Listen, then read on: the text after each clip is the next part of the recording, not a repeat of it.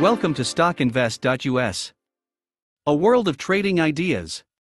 We remind you that trading involves a high risk of losing money, and that you should speak with a financial advisor before buying or selling any securities.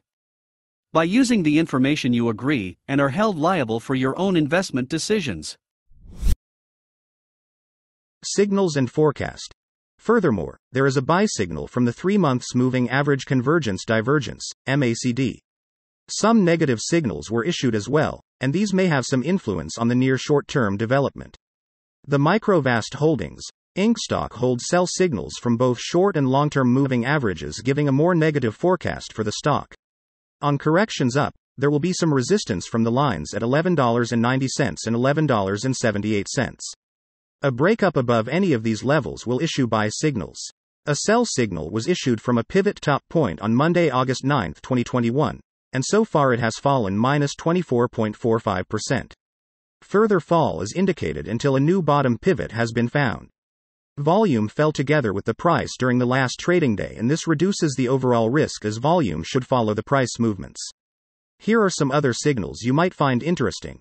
Moving average convergence divergence holds a buy signal. Pivots gave a buy signal 6 days ago. Bollinger gave a buy signal 22 days ago. Short moving average for the 3 month chart gave a sell signal 4 days ago. The long term moving average for the 3 month chart gave a sell signal 5 days ago.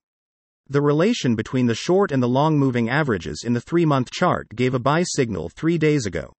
If we look at the 12 month chart, we see short moving average gave a sell signal 2 days ago.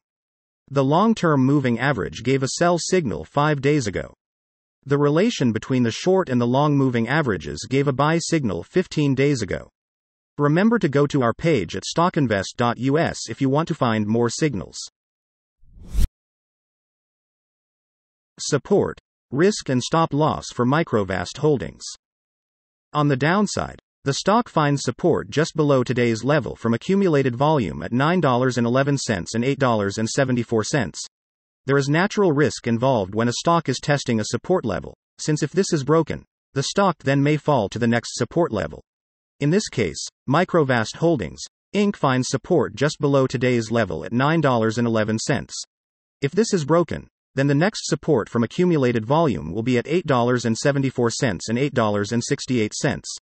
This stock may move very much during the day. Volatility. And with a very large prediction interval from the Bollinger Band, this stock is considered to be very high risk. During the last day, the stock moved 92 cents between high and low, or 8.99%. For the last week, the stock has had a daily average volatility of 15.14%. Our recommended stop loss. We hold in negative evaluation for this stock.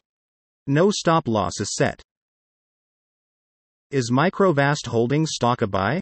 Microvast Holdings, Inc. holds several negative signals and is within a very wide and falling trend, so we believe it will still perform weakly in the next couple of days or weeks. We therefore hold a negative evaluation of this stock. Analyzing the volatility and movements for last trading day, our systems find that current price is undervalued. For the trading on Tuesday 17th, we expect Microvast Holdings to open up 25 cents and start trading at $10.60. That's the end of this video. Thanks for watching. Leave a comment if you have any questions and don't forget to subscribe to the channel.